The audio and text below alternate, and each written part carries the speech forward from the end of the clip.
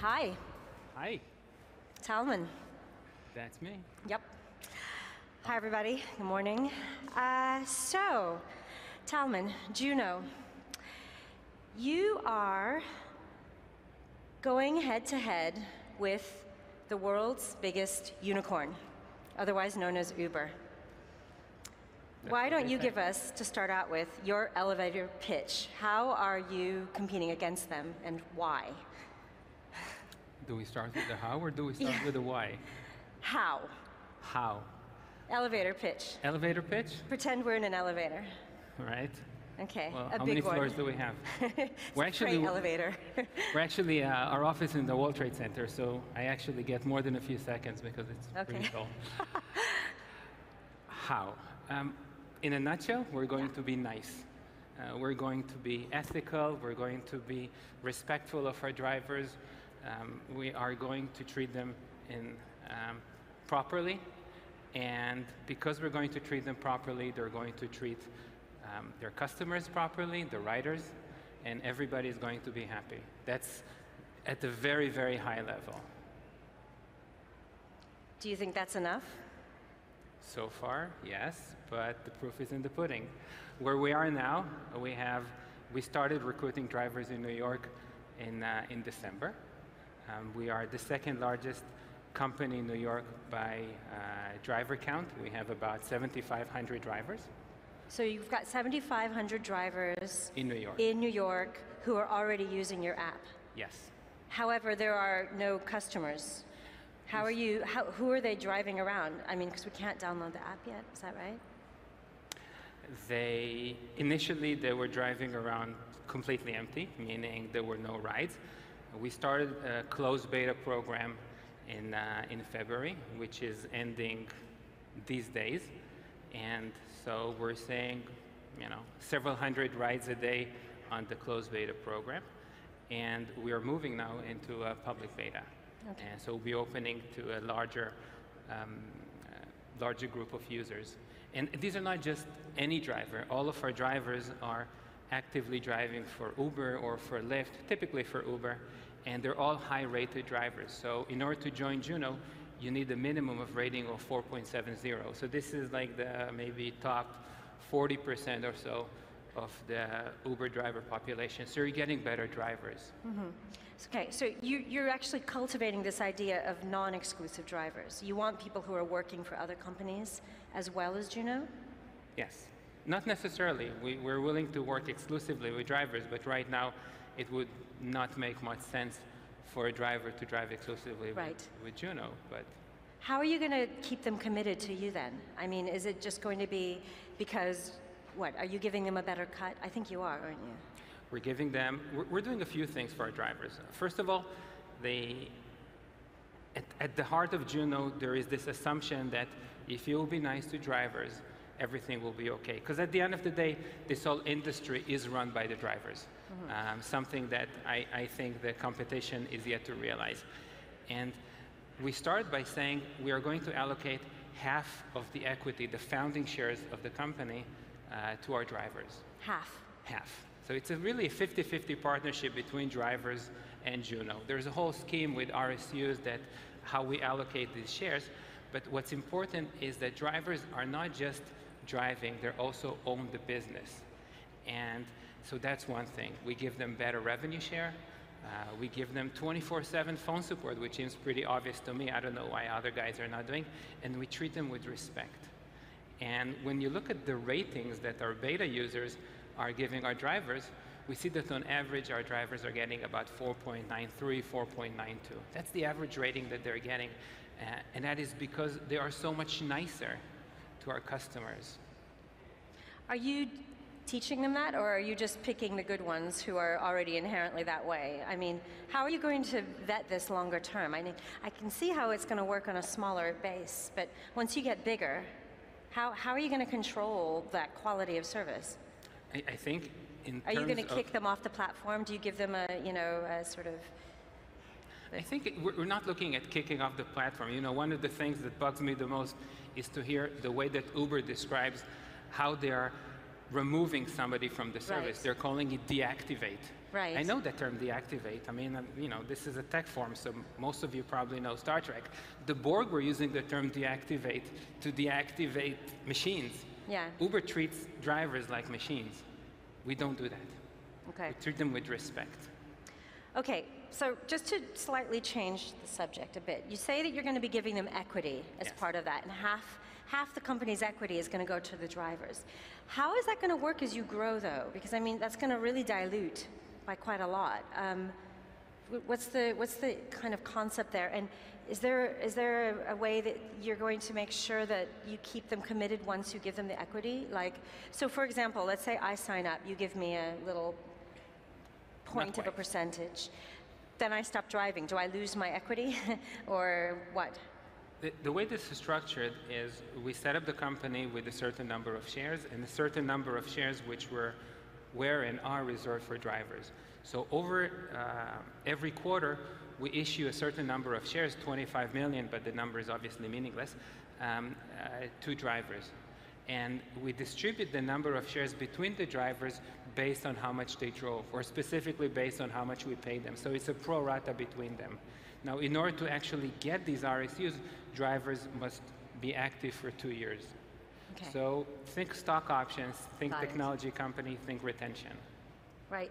But what about the diluted part? So you're in New York now. Um, you're presumably going to go to other markets too, right? You're going to conquer the US, the world, whatever. Um, how, how are you going to keep that from getting too diluted? I mean, are you going to cap it at a certain amount each market? The number of shares each quarter is fixed. So Got it. every quarter, it's 25 million shares uh, for 10 years. Got it. So 40 quarters, 25 million, 1 billion shares. We, the founders, also have 1 billion shares. Okay, okay. Now, okay, since we're talking about money, um, we reported uh, about a month or two ago that you guys were raising money. You raised like something like 30 million. Can you confirm that? We never love to confirm fundraising, but Okay. we're very well funded. I mean, we're not as well funded as Uber Okay. uh, or even as Lyft, uh, but we're definitely sufficiently funded to launch in New York, to, to run the service, to operate, uh, to do everything we need to do to achieve the goals of the company. Okay, but still, okay, let's say it's 30 million, let's say it's 50 million or something.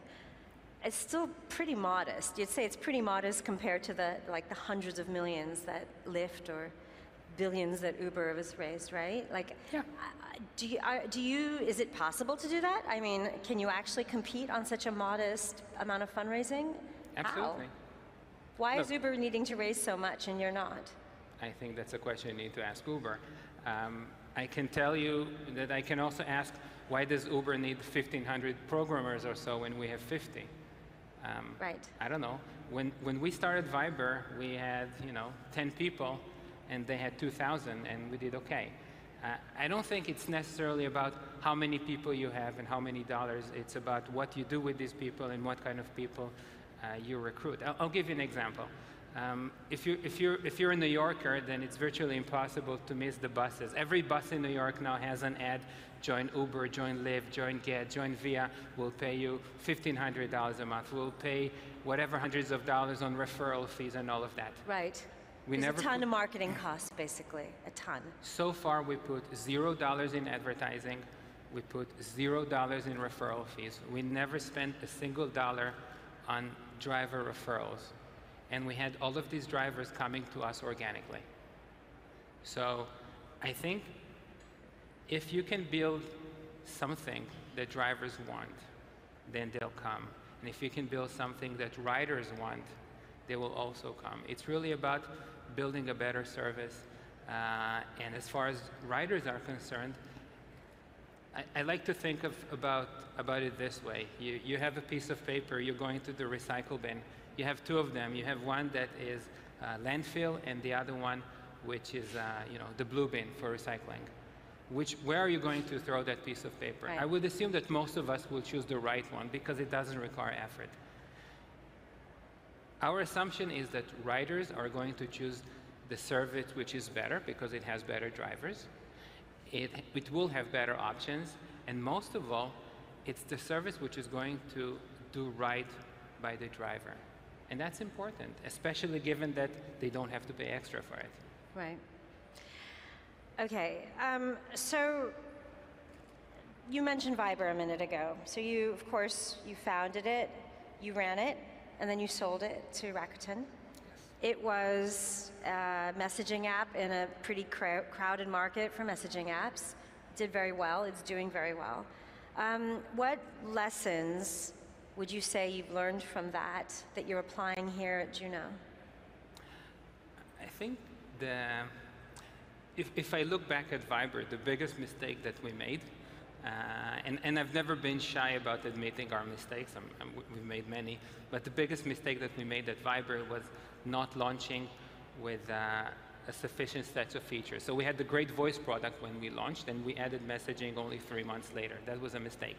Um, at Juno, when we launch, and we will be launching uh, soon enough, uh, we will have a sufficient set of features. So we're starting a beta program in, uh, in, in, a few days. Actually, if, uh, if you're in the audience, uh, you can go to gojuno slash disrupt and uh, pre-register. You're going to get in a, in a few days an invitation to join our beta program, and you'll get rides at 35% off.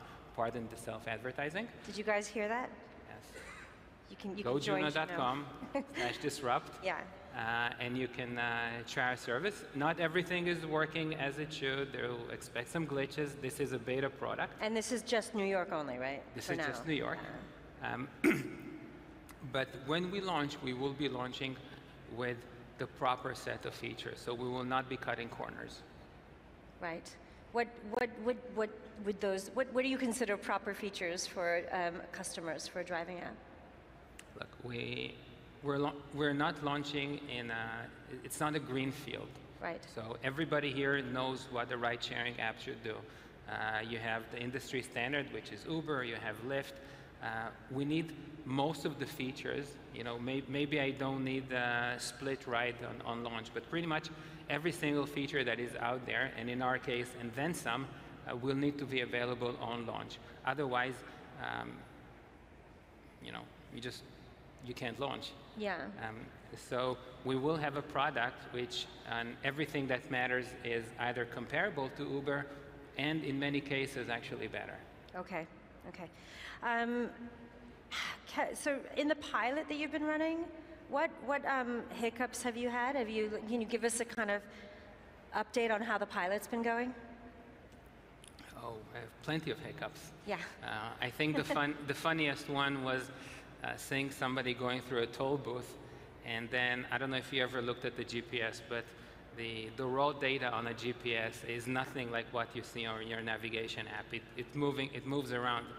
So you see somebody going through a toll booth, stopping for the, the gate to open, and then you get the report that says they went back and forth through that toll like 20, 30 times. Oh. Uh, so you, you, see a lot of things uh, when, when, you develop an app, which is why you do a beta program, right. which is why you fix these things. So is everything fixed? No. Right. Uh, but a lot of these issues are fixed, and by the time we launch, I'm, I'm sure that everything will be. It's fun.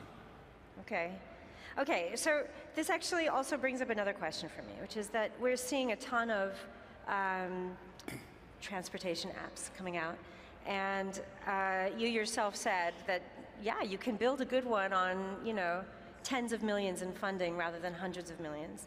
Um, which also leads me to ask another question, which is, can you, can I build transportation app? Has it, have, have the stakes been lowered relatively low at this point? Or is there going to be, you know, you say you're putting in all the features, but it's going to be better. So what, is there a tech advantage or is it all on kind of mind share at this point, would you say? I, I think obviously building it is, is, doable. We've done it, Uber has done it, and many others have done it. Um, it's not trivial. Uh, it still will take millions of dollars. Uh, and it's a, matter, it's a matter of the quality of your development team. If your development team is so-so, it'll probably be more time and more money. If uh, you have a super stellar development team, as I'm happy to say that we have, we have an amazing team in, uh, in, in Minsk, uh, in Belarus, then you'll need less people and you'll probably spend less money. Okay, but um, okay, so but, but you know when you look at the bigger companies out there, the Lyfts and the Ubers, they, they've kind of already moved on from this. Like the basic transportation app, you don't see them kind of doing tons of iteration on that. They're sort of like going into the next phase, which is things like autonomous cars. Um, where are you guys standing on that? I know that in the past you've said, you know, that's been one of your kind of, you know. Um, you know, your, your, your polls, um, that you, your 10 polls that you've been, you know, uh, campaigning on or whatever, um, is, is this idea that, you know, you're not going to make the driver obsolete because you're giving them equity. So even when autonomous cars do come along, you guys are going to be, you know, treating them better than the Ubers who are prepared to discard the drivers. So what, what are you guys doing with autonomous cars and, and how, how would you potentially approach that in your business? Okay. I think autonomous cars are coming. There, there's no doubt about it. And that's pretty much the holy grail of every company in our space. The question is, for us, is what happens then? Uh, and this is one place, uh, yet another place where we differ from everybody else. Um, if, you're, if you're an Uber, then on that day you deactivate uh, your drivers. So all that nice pitch about creating jobs and all of these things, they're like, bye. With Juno, while we may, as, as with everybody else, not require the services of drivers, because our drivers are shareholders, they still get to enjoy the fruit of their labor. So if you think about it, this is probably the first time since the Industrial Revolution that you have a company which may no longer require the labor, but that labor still gets to enjoy the fruit of, well, their labor. Um, do you think that autonomous cars are really going to be a big part of this economy, though? Absolutely. Really? No, no doubt about it. Autonomous cars are coming. It's just a matter of time. I don't know if it's Have you been 70 looking at Have you been looking at them already as something that you might start to look at? You know, for example, do you go to Tesla and have conversations with them at this point, or is that too early for you? I think it's too early for us to do that. Okay. What about, do you think that you would have to do something like what Lyft is doing, where it's partnering with large car, co- I mean, you know, they've, they've taken GM as an investor, or like Uber, which is, you know, building its own program? Which way do you think that a company like yours would need to go I think space? there's uh, a lot of marketing and FUD in this space if you look at the other companies in this space and what they're doing. That's my own personal feeling. Uh, are we going to be active in this? Yes, but right now our focus is not on self-driving cars. Our focus is not on the technology of 10 years from now. Our focus is on launching in New York, delivering the best possible service. Uh, it's not about um, even delivering pizza uh, with our cars. It's, it's not about uh, delivering goods. It's about delivering a great service in New York uh, to the people of New York and treating everybody, with respect and dignity. Okay, but still, with the, with the autonomous cars, though, do you think it's how many years do you think it would be? Look, as somebody who's in this industry, I mean, you know, Lyft says they're going to do stuff within a year, I think. So, you know, they're going to start rolling things out there. So, is that is that a realistic time frame for you guys too, or are you going to take your time and possibly come to it much much later? I, I think, look, can, can you take an autonomous car such as the one that Google is, uh, is driving, put somebody behind the wheel, and uh, say, yes, I have an autonomous car on the road? Yes, you can do that. Uh, can you buy uh, a Mercedes S500, put it on the road, and say, I have, you know, some Mercedes cars in my fleet? Yes, you can do that. But let's look at the core of the business. Yeah. In 2017 or 2018 or 19, we are not going to have these services driven by, uh, by machines. That's, Okay. The technology is not there yet, definitely not at the right price, at the right price point. Right. Um, it is coming. Yeah. Okay. We only have a little bit of time left. I just want to ask you one other question. Why Juno? What What is Juno? I mean, we know the the goddess Juno, but what is your what, What's the reason for calling Juno Juno? Juno is a, Juno. is a, Juno is a, is a protector. We, we look at us as the protector of the drivers. Ah. It's a, it's a social mission. It's a social mission and a business uh, at the same time. Cool. Very cool. Well, thank you very much. Thank, Thank you. you. that yours? Yeah. Yeah. Thank you.